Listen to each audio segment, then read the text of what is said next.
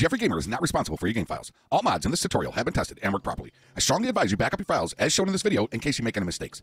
I advise you watch the full video before installing any mods. Thanks. What is going on, amazing, beautiful people? Your boy Geoffrey Gamer is back at you with another LSPDFR tutorial. And yes, guys and gals, I too am going to do a tutorial on call out interface with a couple of tips and tricks for you along the way. Opus 49, dude is fucking legendary.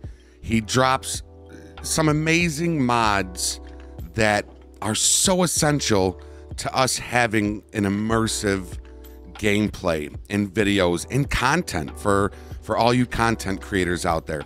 So, folks, that's what we're going to be installing today. I'm also going to do a quick install of the new Grammar Police 1.7.1.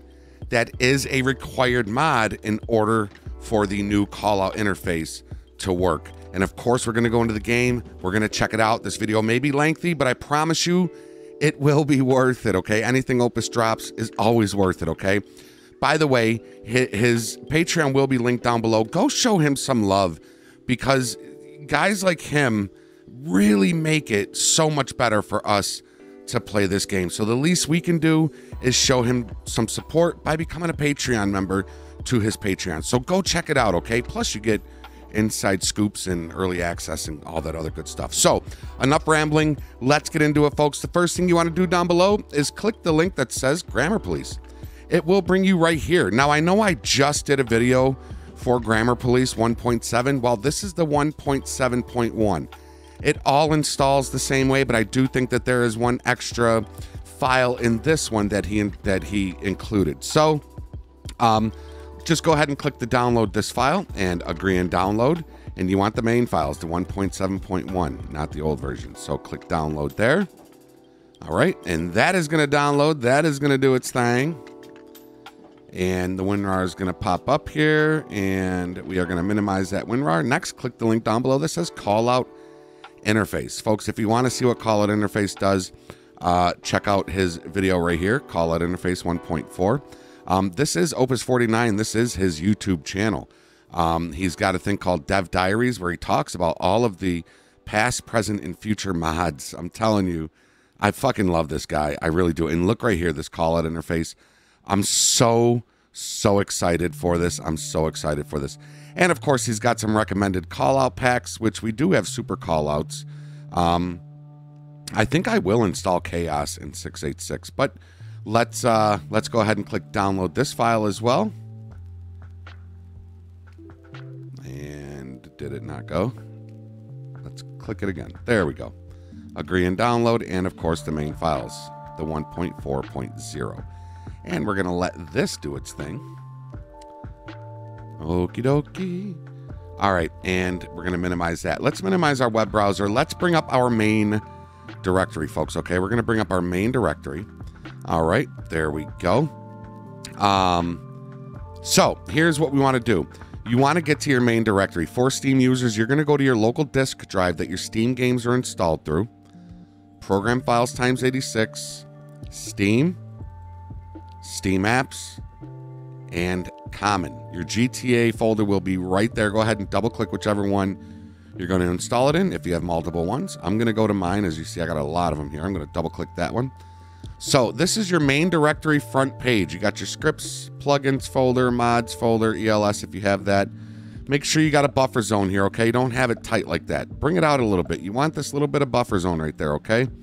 All right, let's, uh, first things first, we're going to install Grammar Police. Now, I'm not going to do the full install with the, um, with the, uh, with the textures file here, okay? This is an OpenIV install down in the description, I do have a link on how to install Grammar Police in its fullest. Um, but if you already have Grammar Police, you don't need to do this part. If you do not have Grammar Police and you want to do this prop stuff, this is not needed for the new um, for the new call out interface, but it is a pretty cool little thing. Uh, I do have the full uh, Grammar Police install down in the description. Go watch that, and it'll show you how to install these files as well. For today, we're just going to go into this Grand Theft Auto folder right there. And this, I believe, is the new uh, file, the callout interface API. everything else, as far as his the grammar police uh, INI right here, all of this I believe is exactly the same. So the cool thing is, is if you've watched my last video or any other install videos, inside the plugins, now it's important I show you this. I'm sorry, I gotta show this to y'all, okay? Inside your main directory, if you double click plugins and you double click LSPDFR and you double click Grammar Police, if you've already got the Grammar Police folder in this default, make sure you have a custom one right there. Okay, make sure you got that custom one. If you don't know what I mean, again, watch my full Grammar Police install video down below before going any further in this video. All right, so when we drop in the new Grammar Police, it's not going to overwrite our or your um, controls here, okay? It's not going to overwrite that. So that's why he made it so we can make that custom file, okay? So here we go. Let's go back to the main directory front page. Again, plugins folder, your mods folder, ELS, all that right here. All right, over here in the Grammar Police uh, INI or WinRAR, double click the Grand Theft Auto folder again, and you're going to highlight all five of these files the LSPDFR, plugins folders, callout interface API, IPT, and Rage Native. All right. You're going to drag all five of those files, bring them right here to this little buffer zone I told you about, and drop them in. It's going to ask you if you want to overwrite. And we are going to go ahead and click yes. We're going to replace the files. Now, just to show you that it won't overwrite as long as you have that custom INI, I am, once it's done, there we go. I'm going to go back into plugins, LSPDFR, Grammar Police, and Custom INI. I'm going to click it, and as you can see, it still has my Lincoln 39. It still has all of my keybinds that I have set. Okay, so we are good to go. Uh, dispatch key, that shouldn't be D0. That should be, uh, that's zero. Okay, there we go. So I'm going to save that. I don't know why that changed. But there you go. It's all still saved, just how you like it. All right, so we're all set with Grammar Police. Again, full video on how to install Grammar Police and Showcase is down in the description. We're going to exit out of that. Let's click back a couple of times till we get back to our main directory front page. Here it is right here. Again, plugins, mods folder, ELS if you have it. All right. Now let's bring up this beautiful new callout interface right there, ladies and gentlemen. We're going to double click the Grand Theft Auto 5 folder. And here we go. You see all these right here? You want to highlight all five of those the plugins, the callout interface API, IPT, Rage Native, Raw Canvas UI. Okay. We want to. Now, I know that some of these files are the same of what we just installed, but that's okay. Let's just go ahead, drag all those files right over here and drop those. And again, it's going to ask you if you want to replace. Go ahead and replace. There we go. And we can exit out of here. Now, let's go back to plugins, LSPDFR, and call out interface right here, the INI. See the little sprocket? Double click that. So, here's what we want. There's all sorts of INIs in here. Now, a lot of this stuff, okay, a lot of this stuff is accessible through the in-game menu. So right off the bat, I'm going to change my to Lincoln 39. The position, all that stuff, the MDT enabled, the MDT toggle on, all this can be changed. All of this can be changed inside the game, okay? So um, we're going to go into that when we go into the game. What I want to do right now is look for the call out menu key. That is set to F8. I want to set that to F10. I have mine set to F10. Now, we want the now we want to look for the there's the force call out, which is F9. So that's pretty cool. Number pad 6 will bring up the terminal key. Um, and now what I want to look for is where is it might be just in the game um, on how to bring there it is right there the call out menu key. Oh yeah yeah yeah. So i'm setting mine to f10 set yours to what you want. When you're done click file click save and then exit out. There is one feature of this that i'm so excited to tell y'all about that i have been waiting so long for something like this and opus finally did it and i'm so fucking excited and i can't wait to show y'all. So folks uh, that is it. You can exit out of everything. We now have the new call out interface installed. Ladies and gentlemen, let's jump into the game and let's check out this amazing mod. I'll see y'all in there. Alrighty, everybody. So here we are in the game, and folks, we have so much. We have so much to go over, and when I tell you this new call out interface uh, is just it's just amazing. It's so amazing. Um, i played with it and i just just kind of toying around with it and um, still learning it. It is so freaking cool. So let's go over some of the basics. Now uh, to get to the uh, call out interface settings Remember that key that I set to F10. By default, I think it was F8 or F9. Um, so if I click my F10, it's going to bring up the call out interface, which is going to show you all of your call outs that you have, right? So what you're going to do is you're going to go down to configure settings. Okay, now in here, you have call outs, force delay, right? Um, and, and Opus did a really good job at putting in a description here for each thing that you do. Automatically starts a dynamic traffic stop call out. Attention all units. Which is super cool. I'm going to play with this a little bit. Um, uh, if you go back and you go to MDT, this is where you're you're going to have a lot of your uh, MDT options. If you want the MDT to be uh, enabled, meaning it'll pop up when you get a call. Um, again, like terminal, which is displayed when callouts are available. Then you have, uh, you can toggle the MDT on and off here using the keybind. So you can just turn it on and off right there, but there's a, qu- a better, quicker way of doing it, and I'll show you in a minute. Um, MDT in your vehicle only, which is true, obviously. If you're outside of your vehicle, you're not going to see your MDT, right? So I would keep that at true. Um, MDT auto display and call out, again, it will automatically display the call out. Super, that's what you want, right? That's why you have an MDT.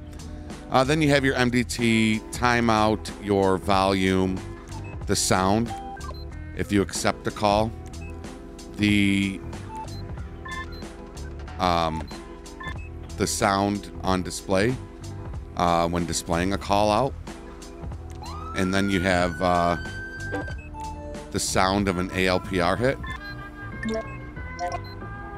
I think I'm gonna go with six because that's that's very uh, MDT show distance. Um, this will display a message showing the distance, which is super cool. Um, so I got everything in there that I want set to where I want it. Um, postals again. This is postal code enabled. If you click it, it will have your postal code. You can see it show up right there, right? Now I have it set to false because I do have Simple HUD installed, which has the postal your your direction, your road, and the time and where you are. So uh, I have I have my postal code enabled to false. Uh, but if you want to set it to true and you want to move it around, you would use this postal code. Um, you know, this right here would would would move it left, right, right, up, down, and then you can change the scale. You can make it bigger. You can make it smaller, and then your postal code set. He's got OCRP pre 0802 uh, in Virus City. I think OCRP uses out one of these is the same ones. I think it's this one right here. Virus City, I think, is what SLRP uses. So I think I'm going to keep it on that one. Um, the plate. Right, you got the plate. Now, plate enabled. We are going to set that to true. That's going to bring up that plate. Oh, I forgot to turn off the postal. Let me turn that off. Right? So you got the plate, right? Enables the license plate display. Um, set it to true. Plate only in vehicle. Obviously, you want to set it to true because when you're out of the vehicle, you know, your, your vehicle's not going to be showing you that. So I'm going to keep that on. Uh, in your ALPR, debug enabled. When set, the ALPR will run in debug mode. I don't know what that means. Uh, maybe Opus, if you're watching this video, maybe you can explain what that means um, invalid document rate, in, invalid license rate. This is what is the probability of, um, what's the probability of each one of these getting hit with the ALPR. Blip enabled by default, it's set to false. Um, I watched Opus's De- Dev Diaries. He says setting it to false, kind of. Look at that guy. It, it's kind of realistic, right? Because you know your MDT won't show a blip if your ALPR goes off. So um, I set it to true because I'm just lazy. uh, in nearby vehicle check, the number of nearby vehicles to check the cameras against. By default, it's set to eight. Uh, I might take mine maybe down to maybe. I'll do four right now. Okay. Um. Yeah, I'll do four as of right now. Now we go back and then you click save, right? So that's pretty much it. And please, again, Opus, if you're watching, if I miss anything, feel free to correct me, add anything, whatever you need to do in the comments. Um, by all means, man. Now I can hear my ALPR going off, but I'm not seeing any blips. And I have the blips set, so not sure about that. Um, also, one thing I'm noticing is the plate reader's not changing when cars are in front. I might be doing something wrong here, y'all, but okay. So by default, your number pad six, if you if you hit it once, just tap it, it will bring up your M your your MDT. But you can't you can't select nothing on it. If you hold in that number pad six, you'll see your mouse pop up. Now you can control it. You can set yourself available in route on scene or busy. We're gonna set busy for right now. Boom, look at that. Lincoln 39 busy. That's fucking awesome. Um, plate. If you click it, it will snap the plate. It will lock in the plate. That I know it does do. I noticed that when I was playing around with it. Um, ALPR. That will turn your ALPR on. And your settings here, it's just going to bring up these settings again that we just went through. And of course, you have your uh, you have your uh, your oh I gotta hold long hold it again. You have your panic button which we don't want to hit. Now if you look down here these are you know sub tabs. So you got incident I'm gonna save this one for a little later. You got peds right? If you run into any ped stop the ped you can look them up here through your CAD super fucking awesome.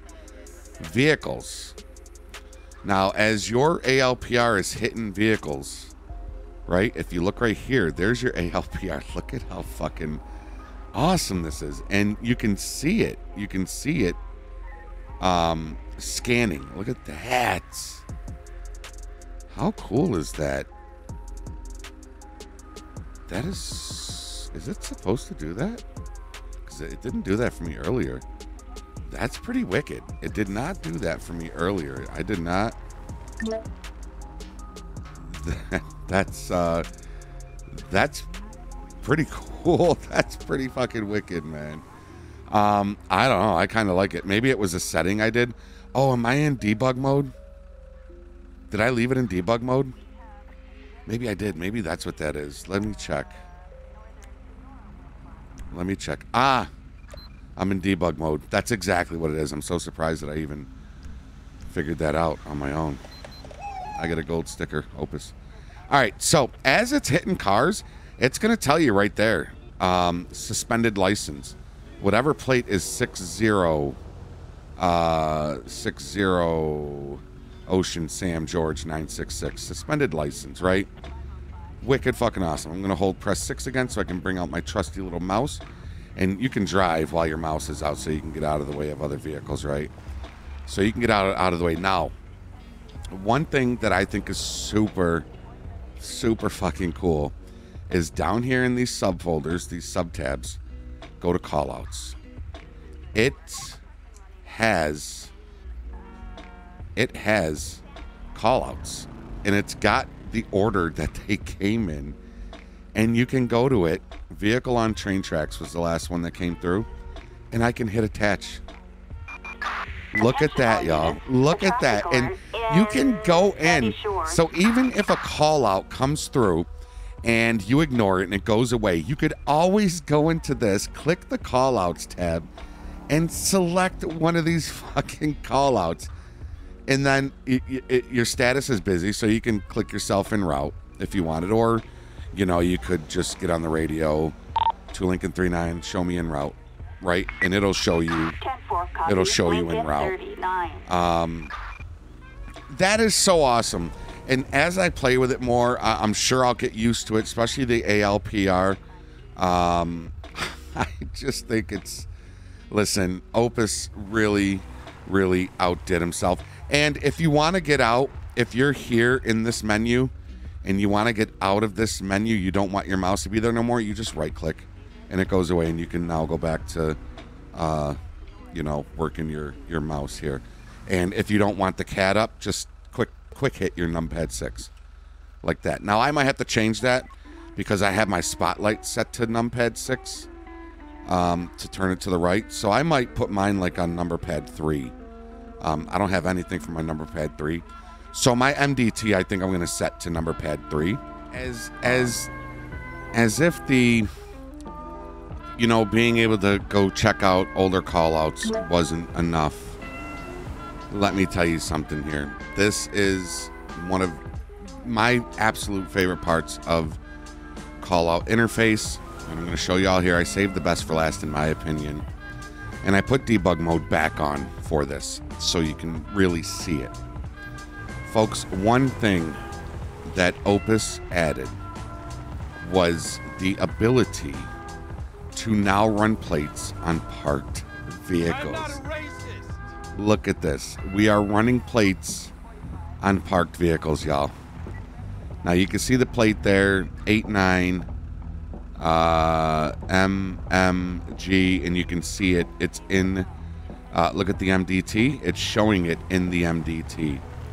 How flippin' awesome. I have been waiting so long for something like this, right? I have been waiting so long for something like this. This is great for parking enforcement, patrols, or just patrols in general. You can go to the city, go to the mega mall, and just circle the parking lot and look for abandoned, stolen vehicles, right? Something like that. Um, again, I am I am running the uh, debug mode. So if I go back, if I go into uh, my settings and I go to ALPR, I am in debug mode. So we'll set that to false. And then I can save. And now you won't see those lines anymore. But it's still reading all the cars. It's still reading all the cars that are going by. And if you get a hit, it, it, it it's going to, uh, it, it'll blip it if you have blip set and it'll show it on the map. Um, so, folks, a, a, a great big shout out to Opus, his whole dev team, his beta testers, anybody and everybody that helped Opus along with this just fucking amazing, absolute must have mod. This is an absolute must have mod into your game. Um, and like I said earlier, please, uh, his, his Patreon is linked down below. Um, and if you can, only if you can, I don't expect everybody to go rushing over there and, and join his Patreon, but anybody that can go to his Patreon and show support or uh, tip, you can also tip Opus 49 um, through the LSPDFR page. Um, you know, just show support to somebody who uh, puts an endless amount of time to make our gaming experience better. It's not like LSPDFR and Rockstar and GT. It's not like they're paying him to do this stuff. He's doing it on his own time. So the least we can do, if you can, is go show support. Um, it, it, obviously, if you can't, just show support by dropping a comment on the mod on lspdfr.com, um, installing it. You know what I mean? So um, you can always show love that way as well. That's free. Doesn't cost a dime. Doesn't cost a penny to leave a positive comment because there is nothing negative you could say about this this mod. Um, so big shout out to Opus and everybody that helped him create this. It's fucking amazing. Uh, absolute legends. Um, that is it, everybody. That is it. Get this mod installed. If you're new here and you feel I'm deserving, please consider hitting that subscribe button and ringing that bell so you know when new amazing content is dropped. Also, consider giving this video a thumbs up. The more thumbs up this video gets, the more people it can reach and teach, just as it did with you. Until next time, everybody, be safe, be healthy, be positive, follow the rules, and obey the law. Your boy, Geoffrey Gamer, is out. We'll see you on the next one. Later, y'all.